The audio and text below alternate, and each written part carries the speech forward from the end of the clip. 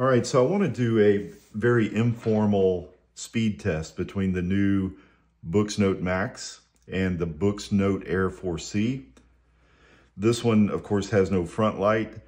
This one does have a front light, but I've got it turned down very low, as you can see here, uh, so that the screen looks, in my current room lighting, that the screen would look very similar to the Note Max. So the uh, This is going to be very informal, nothing scientific. I will show you that I've got no apps running in the background on either device. I wanted to have them both in the same state.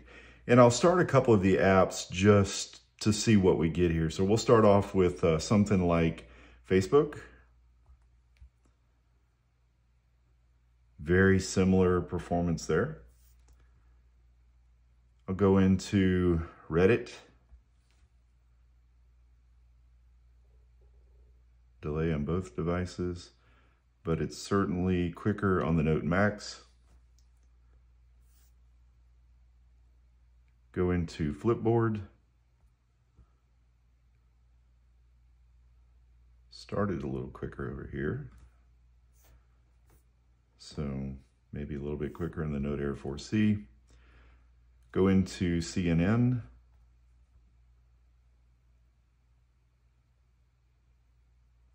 Looks like it's quicker on the Note Max. Go into the weather channel.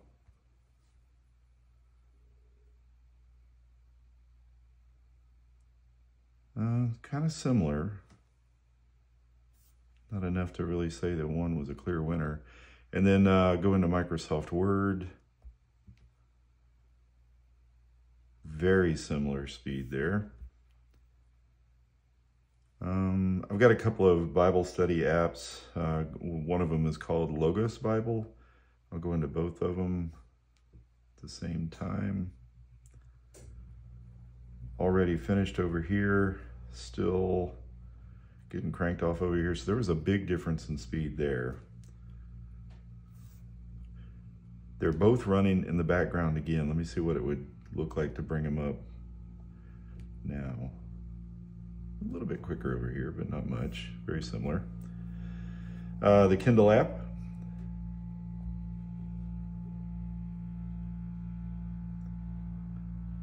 Slight advantage to the Note Max. Um, let me look at my personal email. I use an app, it's just called Email, that I got off the Google Play Store. Quicker here. Um, and then let me just go bring, uh, look into Microsoft, I'm sorry, to Google Chrome. Let's load um, CNN.com into both. I wish I could uh, type into both at the same time, but I'm not that coordinated, left and right hand. I'm gonna go ahead and hit the return key twice. Okay, so we were quicker on the Note Max. All right, so my video cut off there for a second, but uh, you can see some of the speed differences there. The only other thing that I was concerned about with the Boox devices con uh, compared to the Remarkable Paper Pro, and I don't have that with me downstairs to be able to look at that right now, but I have a very large hyperlinked PDF file that I created for work. Uh, it's 5,053 pages. And I know that's a lot of pages, but um, I take a lot of notes. So I have 30 different subjects in the notebook.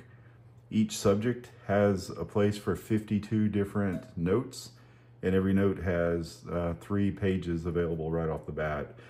I also have um, 53 week, uh, in case we have a 53 week fiscal calendar, 53 weeks worth of five days, five weekdays worth of notes to take, sort of journals for work, um, some visual visualization of calendars, and then to-do lists that I that I have in there. So that's why it's 5,053 pages. But on the Remarkable Paper Pro, it loads very quickly initially. It exits very quickly. I, I have noticed on the Boox devices that Uh, once you get it loaded into the device, you import it from the PDF. The important, uh, the uh, importation or the import process, whatever the word is, takes two and a half, three minutes to bring in that large of a PDF file and then import it into the Notes application. Uh, but once it's in there, it's pretty snappy. But every time that I go to exit the note and it saves it, that's a good, I'm estimating 20, 30 second saving process. Where on the Remarkable Paper Pro, as soon as I exit it, it just exits. It, I guess it's saving it along the way. But wanted to kind of show you that real quick. Um, I'm going to go into the Notes app. And here is the note on both devices. Uh, I think it's going to load pretty snappy on both devices. It's already been imported into Notes. It came up over here first. Um, I'll switch between sections. I'm on the Notes title page there, table of contents there. When I go into the journal, which is a 53 week, look at, uh, for example, Monday through Friday, you can take notes each one of the days. Um, you can see how that's uh, designed there. Get back to the home page well, if I can hit it. And then, um, you know, go into the calendar. Each time I'm clicking on a different one of these sections, it's moving thousands of pages uh, in advance. So uh, pretty impressive with the speed that it's handling it. Looks like the Note Air 4C is a little bit quicker though. Um, so just, um, you know, just something like uh, when I go into a note section, or this happens to be a to-do list, when I go into the to-do list section, looks like the Note Air 4C is a little bit faster. Going back to the home page, um, when I go into a, just for a section like, just say training and development, it's faster on the Note Air 4C. When I click on a note section, for example, note section one,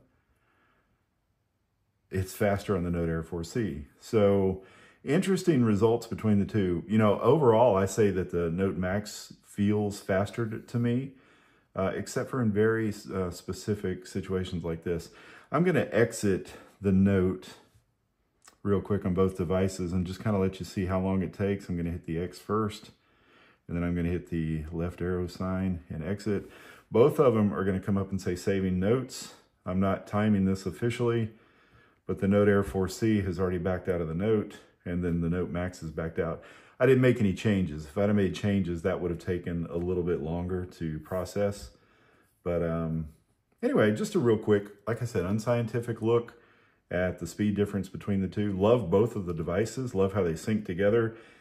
Uh, change a note on one, it just syncs up to the other one. Uh, it's a great combination to have. Plan on traveling with the Note Air 4C. So it's uh, lighter in my luggage or in my backpack. Plan on using the Note Air, uh, I'm sorry, the Note Max on my desk uh, because just the space that I have for uh, reading emails or taking notes. It's just, uh, this is a joy to use. The ghosting issues that everybody are talking about are there. I have to say, maybe I'm not as picky as some of the reviewers that I've seen, but the, the ghosting doesn't seem any worse than a Note Air 4C. And it, it's easy to clear up. I have a swipe in from the left left side of the page for a full refresh uh, on both devices, and it, it's really, it cleans it up really nicely. So Maybe I got a newer device. Maybe, you know, I am updated to the latest beta.